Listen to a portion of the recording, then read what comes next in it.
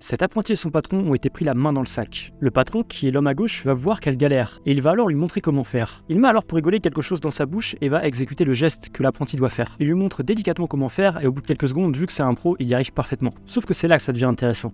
Il s'en va et c'est maintenant à l'apprenti de faire. Et pour se foutre de lui, elle va faire comme lui, elle va mettre un truc dans sa bouche, son téléphone, et elle va se mettre à reproduire le geste. Et ce qui fait qu'au bout de quelques secondes, quand lui revient, il comprend qu'elle s'est foutue de lui, et il se met à rigoler. Elle le regarde et elle aussi. Et ils sont trop mignons. Ouais, si t'es d'accord qu'eux ils vont finir sous le bureau, abonne-toi.